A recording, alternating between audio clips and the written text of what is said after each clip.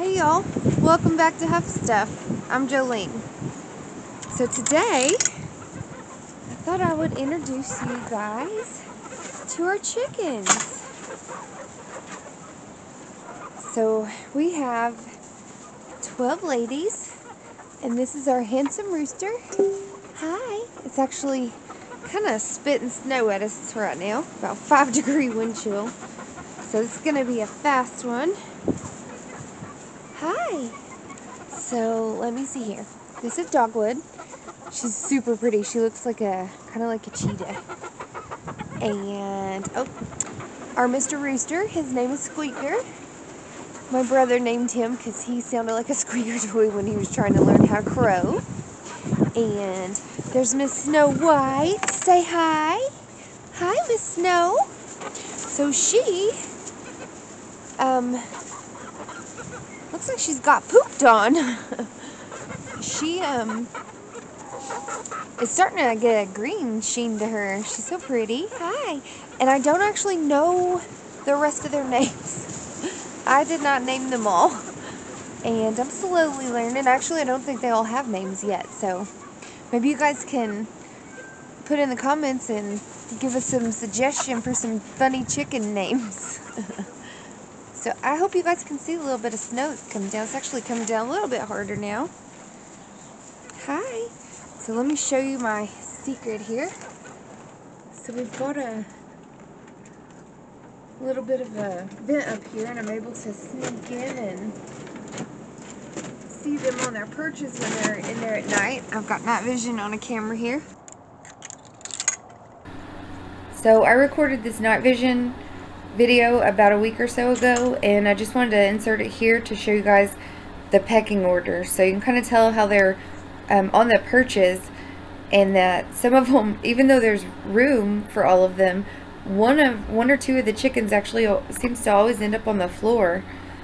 I don't really know how the pecking order is determined. Um, they were all raised together so I, I don't know. Uh, maybe you guys could comment and let me know how they decide that. And um, if you haven't subscribed already, please take a second to do so. And thank you to all that have already subscribed. I really appreciate it.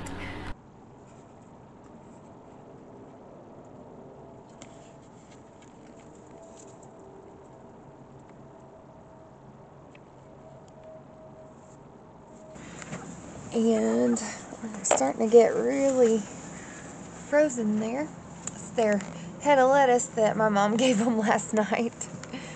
She lives with my husband and I, and she loves these chickens. So we brought them home August 18th. They were uh, hatched on the 15th. I got them from Tractor Supply.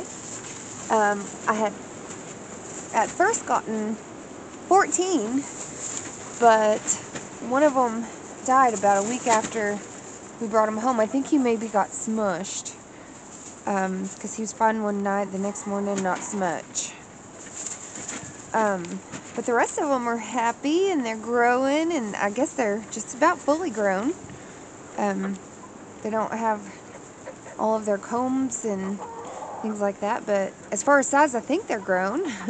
um, they're five months oldish and I actually raised them in the my home office and I had them in that um, that I bought Tractor Supply and kicked them out here into their little McMansion in November, about the end of November or so, um, which is why we actually still have the heat lamp on because they really didn't get a chance to get acclimated before it started getting chillier. And so this spring will definitely, um, will definitely uh, take out the electricity, take out the light. And for next winter, they'll have, you know, all fall to start getting acclimated and they won't need it. So that's our plan for now. Hello, Miss Snow. Hi. It's snowing. How pretty. Your snow your name's Snow White and it's snowing. Uh-huh. So we don't actually intend to eat these chickens, um, but we cannot wait to get the first egg. Um, I think whoever finds this actually going to be the one that gets to eat it. so we're we're all excited and we check quite often to see if there's an egg out here. So my brother built our chicken coop for us, and he built it off the ground. Like I said, they're able to get up under there, and hi. And um, I don't have any worms for, ouch, I don't have any worms for you, I'm sorry. trying to get my ring there. Shiny ring, huh? if you guys have any kind of string or anything like that hanging off of you, they will try to peck it and eat it. Usually I give them mealworms, but they have gone through five pounds of mealworms in, oh, about, oh, about a month. Hi. Hello there. Aren't you pretty? You are such a pretty girl. Yes. Hi. They are just such a hoot. I love coming out here and spending time with them. They're so fun. Hi. They were so little when I brought them home, and it's just hard to believe that they're this big. Oh, she's going to go after the string on my jacket. I already tried. Get it, girl. Get it. You get that wormy. or pretend wormy. You get it. so, yep, I need to order some worms soon. And, um, see if I can't. you, did you just do what I think you did? Did you just do that? oh! Maybe we can bring you some warm noodles here in a few. Some warm spaghetti noodles. They love them. so funny. They get them in their mouth and they just run around. We don't give them too many. Very many at all. But we just cook them up and bring them out here warm and give them a noodle or two each. And they love it. They love it. Well, you can hear that other rooster. How about you give us a show? Ooh. they found another they found another string on me. How about you do it for us, huh? Go, er, er, er. All right, so let's see. We had to um, surround their coop with plywood because I have a cat and he tried to get one of them one day and caught them by the wing, caught one of them by the wing, and thankfully we were out here and stopped it and we put that up. Just need to get some rabbit wire to cover it. So I'm standing up and it's fully covered, fully surrounded by chicken wire and plywood. Um, we ran out of uh, paint and I have not been able to catch outside paint at Walmart ever since I got this paint. So just wanted to come on and show you guys one of our renewable resources that we're working on and encourage you all to do the same. If you don't have chickens, I will just say that I highly recommend them. They are so, so fun.